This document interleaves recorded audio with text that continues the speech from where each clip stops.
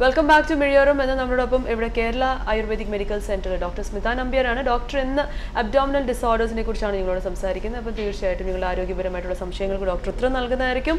വിളിക്കുന്ന നമ്പർ ഒരിക്കൽ കൂടി ഞാൻ പറയാം. Zero five two nine six double one triple three അതുപോലെ Mizhiyorum at N T V U I dot com ആണ് ഞങ്ങളുടെ ഇമെയിൽ ഐ ഡി. ഡോക്ടർ ബ്രേക്കിന് പോകുന്നതിന് മുന്നേ ഡോക്ടർ കാരണങ്ങൾ പറഞ്ഞു. കുറേ എന്തൊക്കെ പ്രശ്നങ്ങളാണ് നമ്മുടെ അബ്ഡോമിനെ എഫക്റ്റ് ചെയ്യാം?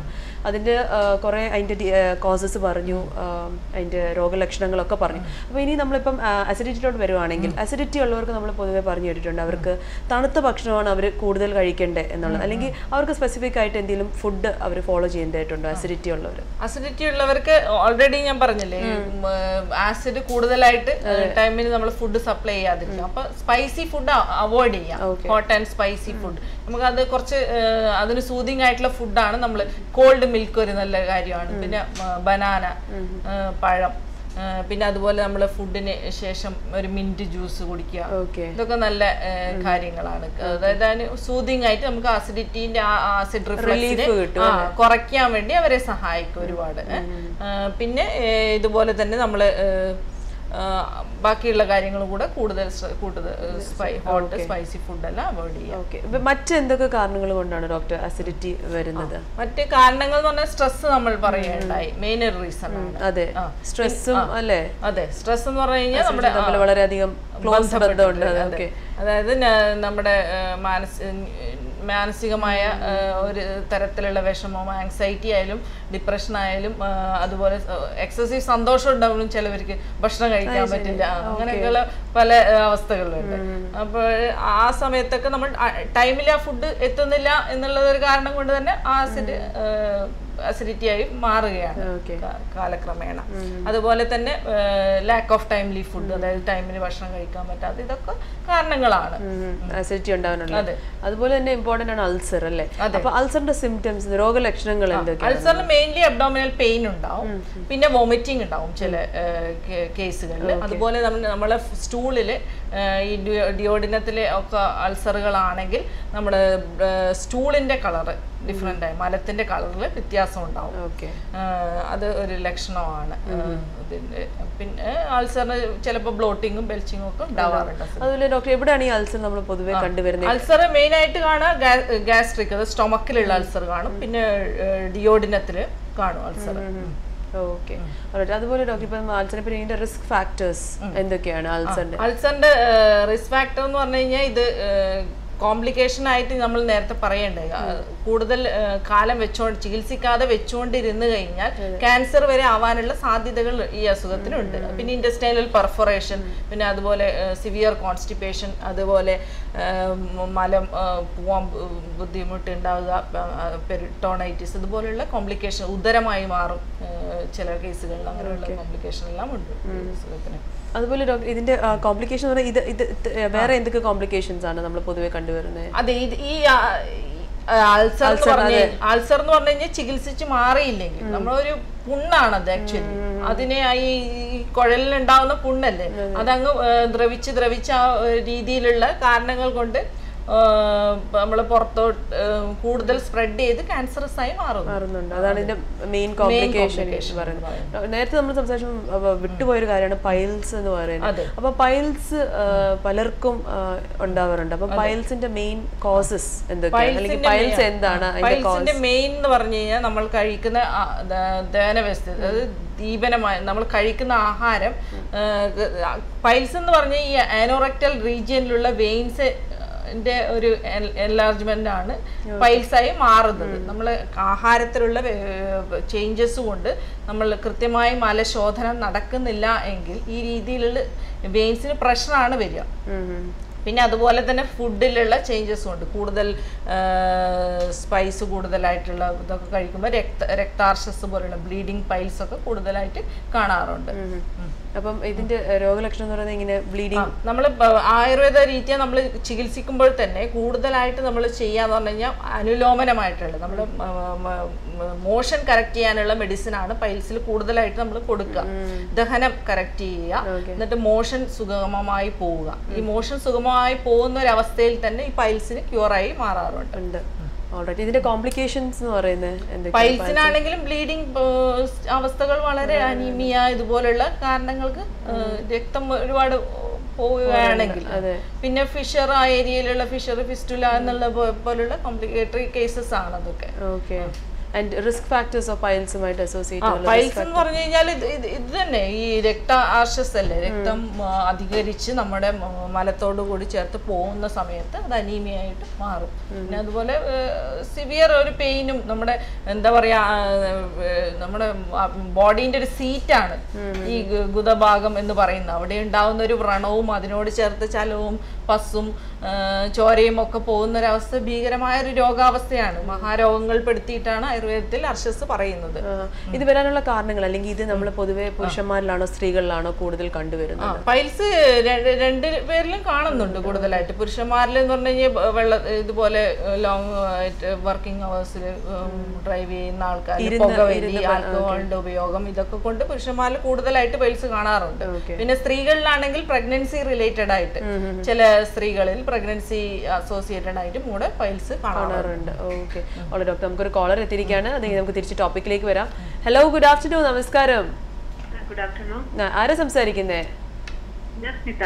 സ്മിത. ഓക്കെ ചോദിച്ചോളൂ ഡോക്ടറോട് ചോദിച്ചോളൂ. നമസ്കാരം hello good afternoon doctor good afternoon പറയൂ. ഞാൻ എന്റെ ഹസ്ബൻഡിന് വേണ്ടിയിട്ടാണ്. ആ പറഞ്ഞോളൂ.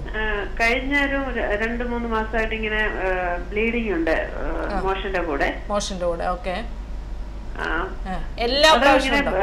ഒരു സ്ത്രീ ഒരു സ്ത്രീക്കായിട്ടാണ് ഇങ്ങനെ കാണുന്നത് ലാസ്റ്റ് ഒരു സ്ത്രീക്കായിട്ട് ഒറ്റൊരു വരെ പോലെ അല്ലേ? ആ അതിങ്ങനെ. അത് അല്ല ചില സമയങ്ങളിൽ ഒരു കുറെ കുറച്ചുകൂടെ കൂടുതലായിട്ട് പോകുന്നുണ്ട്. ആ മോഷൻ മോഷന് ചേർത്ത് ആ സ്റ്റൂളിന്റെ കൂടെ തന്നെ. ലാസ്റ്റ് ആണ് ഇത് കാണുന്നത്. ആ മോഷൻ പോയി കഴിഞ്ഞ് ബ്ലഡ് ക്ലോസറ്റ് വിറ്റുന്നതായിട്ടല്ലല്ലോ അല്ലേ? മനസ്സിലായില്ല ഡോക്ടർ? ആ മോഷന്റെ നമ്മുടെ മലത്തിന്റെ കൂടെ തന്നെ അല്ലേ സ്ട്രീക്ക് ആയിട്ട് ലൈൻ പറഞ്ഞത്? അതെ അതെ അതെ. കഴിഞ്ഞ് ചില ദിവസങ്ങളിൽ ഈ മലം പോയി കഴിഞ്ഞ ഉടനെ തന്നെ അതിന്റെ കൂടെ ഒരു മൂന്നാൽ തുള്ളി കൂടി ഇങ്ങനെ പോകുന്നേ കാണാം. എക്സാമിൻ ചെയ്തിട്ടുണ്ടോ ഇത്? എക്സാം ചെയ്തപ്പോ ഗ്രേഡ് വൺ പൈൽ ഉണ്ടെന്ന് പറഞ്ഞു. ഗ്രേഡ് വൺ പൈൽ അങ്ങനെ ബ്ലീഡ് ചെയ്യുമോ ഡോക്ടർ ഗ്രേഡ് വൺ ഇത് ഗ്രേഡ് വൺ പൈൽസ് പിന്നെ ഫിഷർ ഉണ്ടോ നോക്കിയിട്ടുണ്ടോ? ഫിഷർ ഉണ്ട് അനൽ ഫിഷർ ഫിഷർ ഒരു ഒരു ട്വൽവ് ഇയേഴ്സ് മുമ്പേ നമ്മൾ നോക്കിയപ്പോ ഫിഷറിന്റെ കുഴപ്പമുണ്ടായിരുന്നു. ഏകദേശം രണ്ട് മാസത്തോളം ഇതുപോലെ ഇങ്ങനെ ബ്ലീഡിങ് കുറച്ച് കുറച്ചായിട്ട് ഇങ്ങനെ വന്നു. ഇതിപ്പോ ഞങ്ങൾ ഏപ്രിലിൽ തുടങ്ങിയിട്ട് പിന്നെ കുറച്ചു നാളത്തേക്ക് ഇല്ലായിരുന്നു. പിന്നെ ഓഗസ്റ്റ് ഞാൻ ചിരുവില്ലാതി കഷായവും അങ്ങനെ വേറെ എന്തൊക്കെയോ മെഡിസിൻ കഴിച്ചു. എനിക്ക് ഓർമ്മയില്ല. നാട്ടിൽ നിന്ന് കൊണ്ടുവന്നാ കഴിച്ചത്.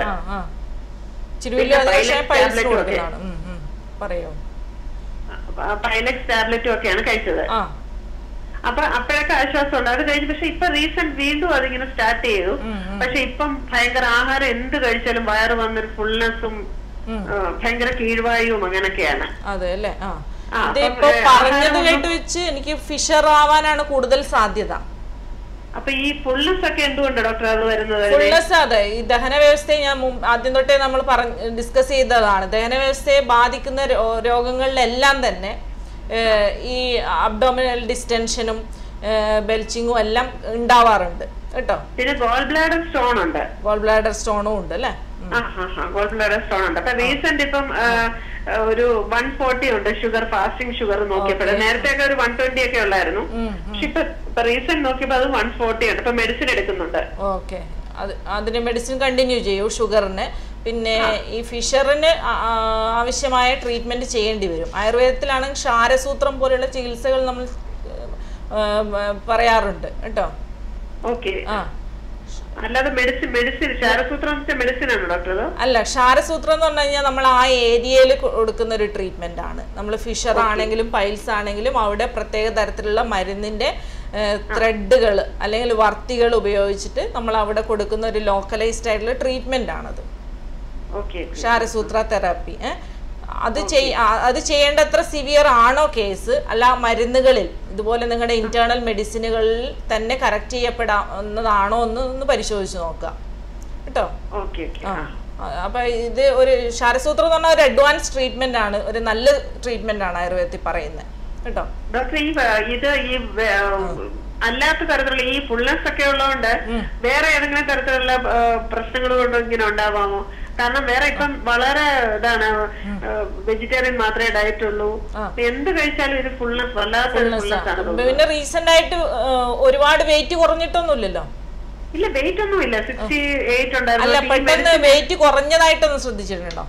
ഇല്ല ഇല്ല ഇല്ല. ഈ ഇത് മെഡിസിൻ കഴിച്ച പിന്നെ ഷുഗറിന്റെ മെഡിസിൻ ഒക്കെ കഴിച്ച പിന്നെ ഞങ്ങൾ ഡയറ്റ് കൺട്രോൾ ആയി കഴിഞ്ഞാൽ ഞങ്ങൾക്ക് വീട്ടിൽ പൊതുവെ എല്ലാവർക്കും കുറച്ച് വെയിറ്റ് കുറഞ്ഞിട്ടുണ്ട്. ആ അങ്ങനല്ലാതെ ആൾക്ക് പ്രത്യേകിച്ച് ഡ്രാസ്റ്റിക് വെയിറ്റ് ലോസ് ഒന്നുമില്ല.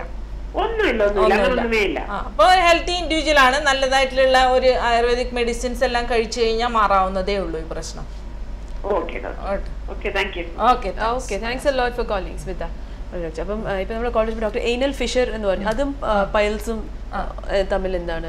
എന്താണ് ഫിഷർ എന്ന് പൈൽസ് എന്ന് പറഞ്ഞാൽ നമ്മുടെ ഏനസിന് ചുറ്റും വരുന്ന കുരുക്കൾ പോലെയുള്ള ഒരു സാധനമാണ്. എനിൽ ഫിഷർ എന്ന് പറഞ്ഞു കഴിഞ്ഞാൽ ഒരു ക്രീക്ക് പോലെ. അവർ പറഞ്ഞല്ലേ? സ്ട്രീക്ക് പോലെ. ആ ഒരു കട്ട് പോലെ. സ്ട്രീക്ക് ഓഫ് ബ്ലഡ് ആണ് വരുന്നത്. അപ്പൊ അതിൽ നിന്ന് മോഷൻ വരുമ്പോ അവിടെയാണ് ഈ ഒരു ലൈൻ പോലെ തന്നെ ആ ഫിഷറിന്റെ അതേ സ്പേസിലാണ് ബ്ലഡ് വരിക. ഓക്കെ ഓക്കെ അപ്പം അതിന് ഒരു കാരണം പൈൽസ് ആണോ? അല്ലെങ്കിൽ അല്ല കോൺസ്റ്റിപ്പേഷൻ അത് കോൺസ്റ്റിപ്പേഷനും തരത്തിലുള്ള പിന്നെ ഒരുപാട് കാരണങ്ങൾ പൊസിഷൻസ് കണ്ടിന്യൂസ് ഡ്രൈവിങ് ഇതൊക്കെ കൊണ്ടുവരാം. ഓക്കെ അതുപോലെ വേറൊരു കാര്യം ഞാൻ ശ്രദ്ധിച്ചു അവർ പറഞ്ഞു നോൺ വെജ് ഫുഡ് കഴിയും അപ്പം എനിക്ക് ചോദിക്കാനുള്ള ഇപ്പം ഇങ്ങനെ പ്രോബ്ലംസ് ഉള്ളവർ അബ്നോർമൽ ഡിസോർഡേഴ്സ് ഉള്ളവർ നോൺ വെജ് ഫുഡ് അവോയ്ഡ് ചെയ്യേണ്ടതായിട്ടുണ്ടോ?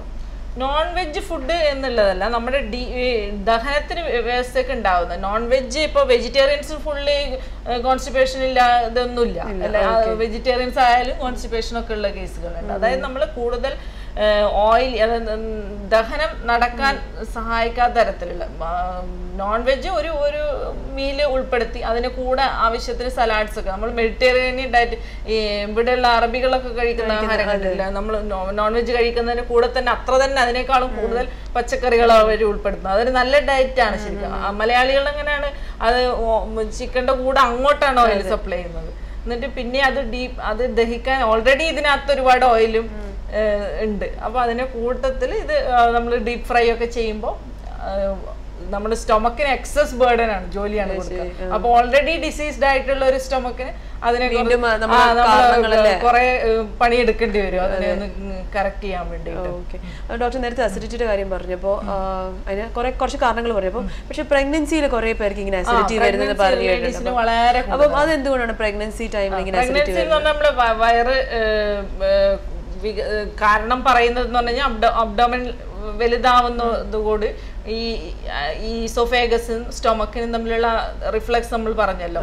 അപ്പൊ ആ സ്റ്റൊ ഈ ഗ്രാവിഡ് യൂട്രസിന്റെ പ്രഷർ കൊണ്ട് സ്റ്റൊമക്കിന് ഉണ്ടാവുന്ന ഒരു തള്ളിച്ചുകൊണ്ട് സ്റ്റൊമക്കിന്ന് മുകളിലോട്ട് റിഫ്ലക്സ് വരുന്നതാണ്. അതിനൊരു റീസൺ ആയിട്ട് പറയുന്നത്. ഓക്കെ അതിന് ആയുർവേദത്തിൽ ഏറ്റവും എക്കാലത്തും പ്രശസ്തമായ മഹാദാനന്തരം ഗുളിക. അതായത് ഗർഭരക്ഷണി ഗുളിക എന്ന് തന്നെയാണ് അതിന്റെ പേര്. അത് നമ്മൾ പ്രഗ്നൻസി ടൈമിൽ പ്രഗ്നൻസി ടൈമിൽ ആദ്യം തൊട്ട് തന്നെ നമുക്ക് ഉപയോഗിക്കാം. ആദ്യം തൊട്ട് ലാസ്റ്റ് വരെ ഉപയോഗിക്കാം.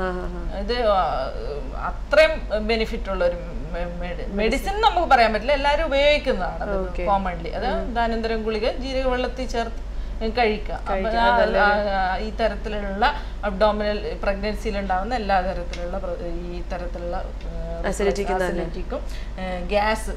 ഗ്യാസും ഈ പ്രഗ്നന്റ് ലേഡീസ് വയർ അവിടെ കൊളുത്തി പിടിക്കുക ഇവിടെ കൊളുത്തി പിടിക്കുക അത് ഫാൾസ് പെയിൻ ആയിട്ട് പോകും പോവും ഗൈനക്കോളജിസ്റ്റിനടുത്ത് ചിലപ്പോ തെറ്റിദ്ധരിക്കും.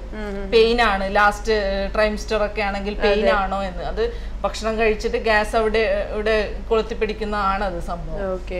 അത് ഡോക്ടർ ഒബീസിറ്റിയും അസിഡിറ്റിയുമായിട്ട് ബന്ധമാണ് ഒബേസിറ്റിയിലും ഇതുപോലെ തന്നെ അബ്ഡോമിനൽ ഡിസ്റ്റൻഷൻ ആണ് സംഭവിക്കുന്നത് അപ്പം അതുകൊണ്ട് തന്നെ ഒബീസ് ആയിട്ടുള്ളവർക്ക് ഒബേസ് ആയിട്ടുള്ളവർക്കും. പിന്നെ അവർ ഒബേസിറ്റിയുടെ കാരണം തന്നെ ഇത്തരത്തിലുള്ള ജങ്ക് ഫുഡിന്റെയും ഓയിലിയുടെയും ഇതിന്റെ ഒക്കെ ഇതാണല്ലോ. അവർക്ക് ഭക്ഷണം ദഹിക്കാനുള്ള ബുദ്ധിമുട്ട് ഉണ്ടാവും obviously.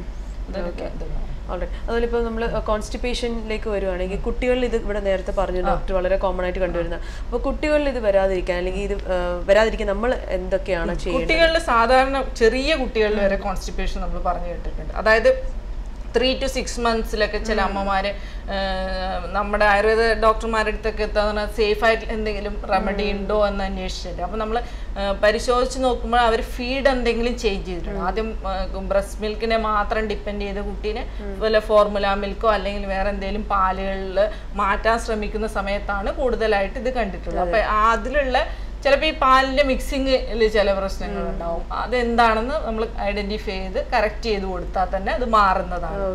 പിന്നെ വേറൊന്ന് അല്ലാത്ത കുട്ടികളിൽ കണ്ടിട്ടുള്ള നമ്മൾ ടോയ്ലറ്റ് ട്രെയിനിങ്ങിന്റെ സമയത്ത്. നമ്മൾ രണ്ട് വയസ്സ് ഒന്നര വയസ്സ് രണ്ട് വയസ്സാകുമ്പോൾ നമ്മൾ അവരെ സ്വന്തമായിട്ട് ടോയ്ലറ്റ് ട്രെയിനിങ്ങിന് വിടും.